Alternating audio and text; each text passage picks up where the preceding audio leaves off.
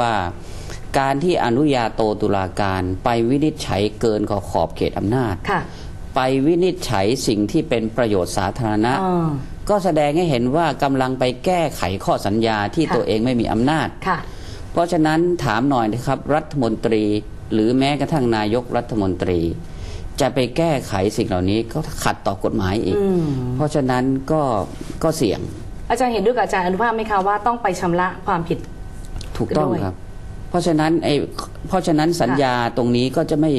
ไม่ไม่เกิดขึ้นจริง ค่าปรับนี้เกิดขึ้นจริง ค่ะ เพราะฉะนั้นก็ต้องมีการชำระหนี้ให้ได้ ค่ะ ก็ต้องไปบังคับเอาละครับว่าจะเอ่อลูกหนี้เนี่ยนะครับอ่าที่เป็นหนี้แก่เราเนี่ยค่ะ มีทรัพย์สินอยู่ที่ไหนก็ตามยึดกันให้หมด สรุปแล้ววันนี้ไม่ใช่ว่า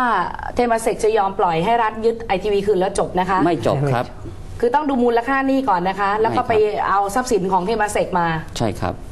จะเรื่องจะถึงกันขนาดนั้นเลยเหรอคะอาจารย์ เอ้าคิดว่ายังไงคะคือคือผมคิดว่าต้องเอาถึงขนาดนั้นนะครับเพราะไม่งั้นเนี่ยคืออย่างนี้มันเหมือนกับกรณีที่